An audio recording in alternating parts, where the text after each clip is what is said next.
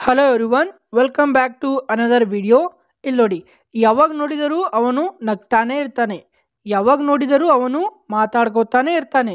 ಯಾವಾಗ ನೋಡಿದರೂ ಅವನು ಜಗಳ ಆಡ್ತಾನೆ ಇರ್ತಾನೆ. ಇಂಥ ವಾಕ್ಯಗಳನ್ನು ಇಂಗ್ಲೀಷ್ನಲ್ಲಿ ಹೇಗೆ ಟ್ರಾನ್ಸ್ಲೇಟ್ ಮಾಡುವುದನ್ನು ಕಲಿಯೋಣ. ಇಂಥ ವಾಕ್ಯಗಳನ್ನು ರಚನೆ ಮಾಡಲು ನಾವು ಈ ಸಿಂಪಲ್ ಆದ ಸ್ಟ್ರಕ್ಚರ್ನ ಬಳಸ್ತೀವಿ. Whenever I see plus subject plus keep on plus ವರ್ಬ್ನ I N G form ಬಳಸ್ತೀವಿ. ಕೆಲವು ಎಕ್ಸಾಂಪಲ್ಗಳನ್ನು ಪ್ರಾಕ್ಟೀಸ್ ಮಾಡೋಣ. ಚೆನ್ನಾಗಿ ಅರ್ಥ ಆಗತ್ತೆ. ಫಸ್ಟ್ ಎಕ್ಸಾಂಪಲ್ ಯಾವಾಗ ನೋಡಿದ್ದರೂ ಅವನು ನಗ್ತಾನೆ ಇರ್ತಾನೆ. ಅಂದರೆ ನಾನು ಯಾವಾಗ ನೋಡ್ತೀನಿ, ಅವಾಗ ಆ ಸಮಯದಲ್ಲಿ ಅವನು ನಗ್ತಾನೆ ಇರ್ತಾನೆ. ಆ ರೀತಿ ಒಂದು ಮೀನಿಂಗ್ ಕೊಡುತ್ತೆ ಇಲ್ಲಿ.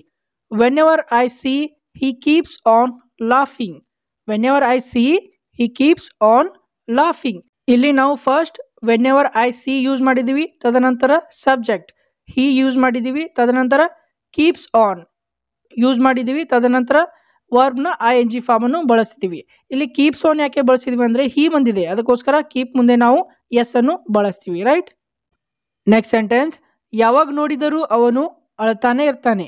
ಯಾವಾಗ ನೋಡಿದರೂ ಅವನು ಅಳ್ತಾನೆ ಇರ್ತಾನೆ.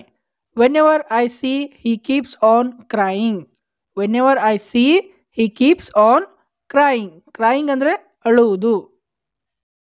ನೆಕ್ಸ್ಟ್ ಸೆಂಟೆನ್ಸ್ ಯಾವಾಗ ನೋಡಿದರೂ ಅವಳು ಜಗಳ ಆಡ್ತಾನೆ ಇರ್ತಾಳೆ. ಯಾವಾಗ ನೋಡಿದರೂ ಅವಳು ಜಗಳ ಆಡ್ತಾನೆ ಇರ್ತಾಳೆ.